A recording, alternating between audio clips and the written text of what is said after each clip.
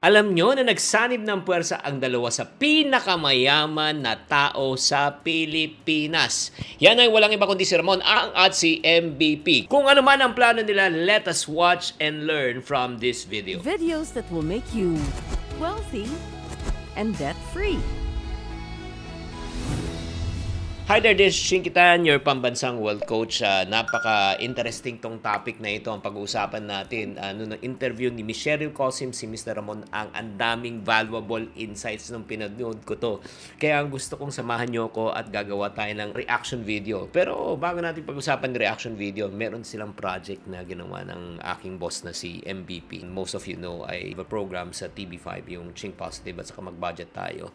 This is sa 1PH. Yun nga, marami silang ginagawa together. But I want to focus muna. Ano yung mga business lessons that we can learn from Ramon Ang? May kasabihan nga, if you surround yourself with successful people, one day you'll become successful. If you learn from successful people, you will also become successful one day. Kaya if you want to learn from successful people, this is the episode for you. Ano po yung pinag-umpisa na isang powerful idea and tip para sa mga taong nag-uumpisa? Let's watch this.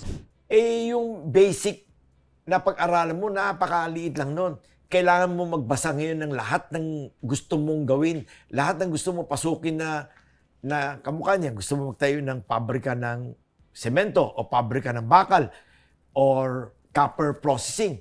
Kailangan niya aralin mo. O ngayon, babasahin mo lahat ng mga mga pabrika sa buong mundo. Anong equipment ginagamit? Anong process? Magkano ang cost ng power? Magkano cost of fuel? Mm-hmm. Eh, pag-aaralan mo yun. Yung napag-aralan mo sa eskwela is just very basic. Pero kung ano man yung papasukin mo, talagang pag-aaralan mo. Tsaka maghahanap ka ng expert para makatulong sa iyo. Ayan naman pala mga friendship, no? Napakaganda ng sinabi ni Boss Ron Ang. Una, sinabi niya, bago ka pumasok sa isang industry, ay kailangan pag-aralan mo. Totoo yan.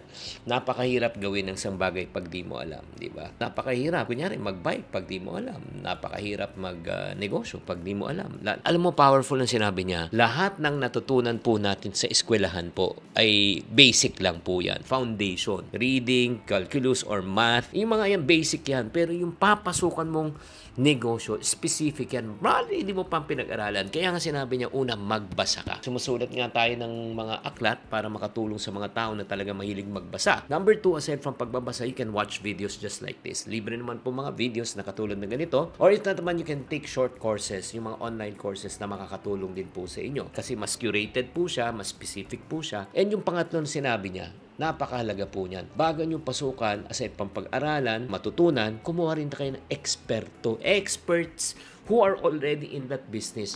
Ang parang sinasabi niya, get consultants. Get consultants and mentors who can really help you. Because sa totoo lang, ano, experience is not only the best teacher, but learning from people who have been there and done that is the best teacher. Ang kaganda niyan, makakat short mo yung learning curve. So, maiiwasan mo yung pagkakamali. Malaki ang oras na matitipid mo at pera ang matitipid mo. Does it make sense? Overall, yung first principle pa lang, wag na wag kang papasok sa isang negosyo o isang opportunity or investment na hindi hindi mo pinag-aralan. Pag pinasok mo yan, hmm, ano mangyayari? Loge.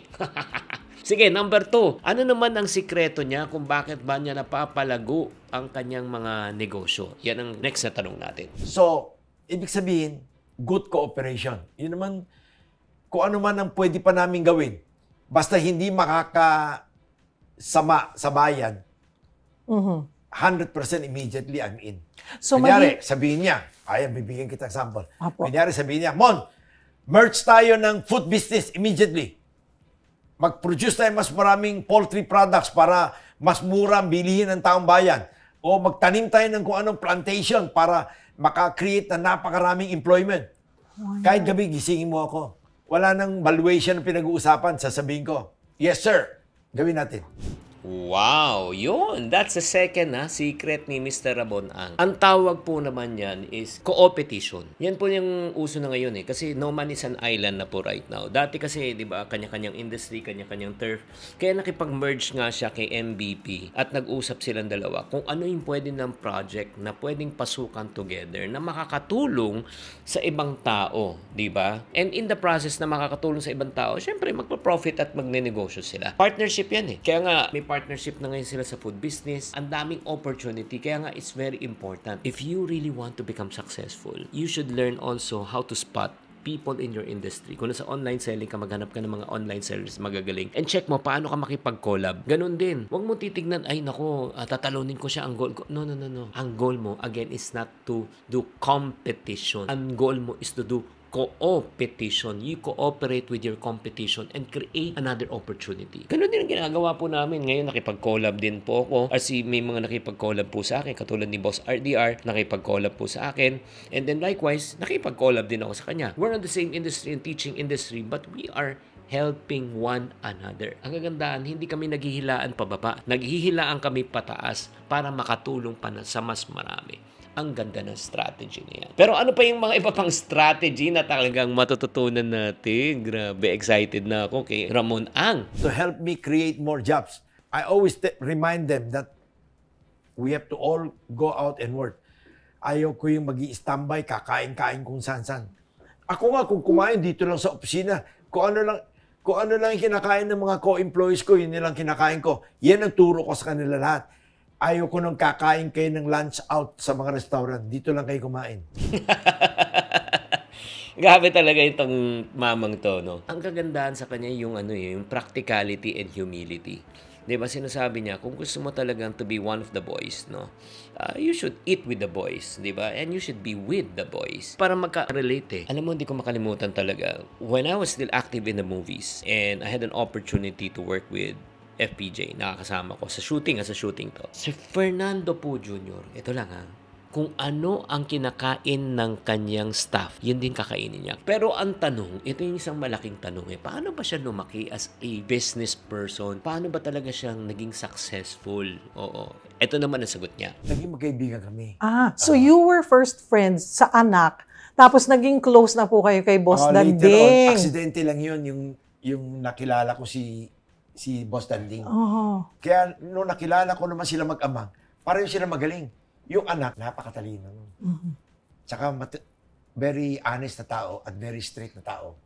So, dahil nakita ko yung mag-amang ganon, sabi nga nila eh, pagka yung araw-araw may kasama kang ganon, birds of the same feathers flock together, di ba? Eh, natutunan ko yung kanilang mga mga magagandang ginagawa. Yun! Gayon naman pala. Ayan pala ang sikreto kung bakit ba siya naging super yaman at super successful. Because he met the right person. Who in the person of Mr. Danding Kawangko. Si Danding pala ang nagbigay sa kanya ng break. Si nagbigay at nagturo sa kanya ng opportunity. Alam mo, ito lang ang reality. Ah. Kahit ang sipag mo, ang tiyaga mo, pero pag wala ka sa tamang network also, mas mabagal ang pangangat sa buhay. Pero pag tama ang connection mo, tama talaga yung coach mo, tama talaga yung nag-mentor, mas mapapabilis eh ang pag-angat mo sa buhay. Do you agree? If you agree, type agree. So, anong ginawa po ni Mr. Ramon Ang? Natuto siya kay Danding Kuwangko at kung anong natutunan niya, inimplement niya at lalo niya napalaki ang San Miguel Corporation.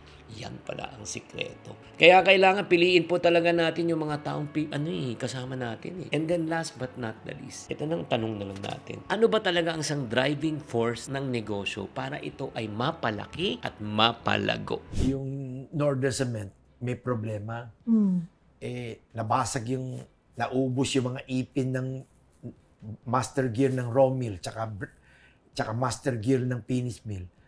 Eh, pag naubos yung ipin, gusto mo umorder ng bago, eh, ang delivery nun, isang taon eh. Tapos ikakabit mo pa, tagal-tagal. Yung planta cannot afford one year stoppage. Bankrupt yun. Mhm. Eh, alam mo naman, mayroon tayo konting abilidad. Naisip ko yung flywheel ringer ng, ng, ng makina ng kotse. Itong isang side, ubus na. Pag binaligtad mo, o di yung kabilang side, bago. Yeah. O binaligtad ko. So, nung binabaligtad ko, sabi nga sa akin ng mga engineer sa pabrika, Boss, wala pa nakagawa niya sa buong mundo. Hindi pwede yan. Sabi ko, meron ba kayong choice? Itigil nyo o sundan natin tong sinasabi ko. Aha. O nangyari naman. So, nung nangyari yung gumanda ang takbo, eh, malaking Phew. pasalamat sa akin ni... He was impressed. Yes, malaking Oo. pasalamat nila sa akin. So, natulungan ko sila doon. At nagtuloy-tuloy na po. Ah, Nakita yung galing nyo, yung pagiging maabilidad nyo. opo. Ayan naman pala, yan ang sikreto. Yes, grabe naman talaga, no? kung makikita mo talaga diskarte ang kaila, kulang eh, minsan talaga sa pagnenegosyo. It is not actually the lack of resources eh, at times eh. It is the lack of resourcefulness. Yung nga kinento nga niya, nasira yung gear, binaliktad lang niya, eh nagamit na. Para sa mga engineer, imposible. Pero yan, tumakbo eh, di ba? Ganon din, minsan, para sa atin, yung nag-uumpisa, parating complain natin, wala tayong punan. In reality, kahit may punan ka, pag di mo alam, wala kang magagawa. Pero kahit wala kang puhunan, pero resourceful ka, maabilidad ka, madiskarte ka, magkakapera ka muli. Parang reminds me yung diskarte ko talaga nung nag-umpisa ako. Wala akong puhunan. Na nagbebenta ako ng t-shirt. Ang puhunan ko, 25 pesos. Binibenta ko ng 50 pesos yung t-shirt na yun. Yung Hanes na t-shirt na yun with design. Pero bago ako kumukuha ng order, pinapakita ko sa friend yung sample at sabihin ko, kung gusto nyo nito, o order kayo, down payment 50%. So, wala akong puhunan. 50% ng 50 pesos, 25. Eh, yan ay puhunan ko. So, kukunin ko yung 25 pesos pupunta akong Divisoria, bibiling ko, ibebenta ko, sisingilin ko yung 25, kikita na ako. Wala akong punan. Pero resourceful ako. Kaya I want to challenge you right now as you watch this video. Ano yung mga natutunan mo sa episode natin na ito? Number one, mag-umpisa, pag-aralan mo muna bago ka pumasok, di ba, sa negosyo. Pangalawa, makipag-collab ka sa mga ibang tao. Number three, huwag ka mataas kahit na lumaki ka na. Kailangan You should learn how to connect with people and with your team. And then number four, piliin mo ang mga tao na makakasalamuha mo. Find people who can really help you to bring you up. And last but not the least, it's not the lack of resources. It is the lack of resourcefulness. O ano, nagustuhan nyo ba tong episode na ito? Kaya para sa mga taong ngayon na-inspire siguro mag-start. From all of these ideas, you just try to get one. One good idea from this episode and implement it right now. Start nyo na malay nyo, kayo ng next na magiging Ramon Ang. Sana naman nakatulong tong video na ito sa inyo at kung nagustuhan nyo tong video na ito, please type gusto and also share this video with other people. Don't forget to like, share, and subscribe. Tatandaan, tamang karunungan, tamang disiplina ang susi sa pagyaman.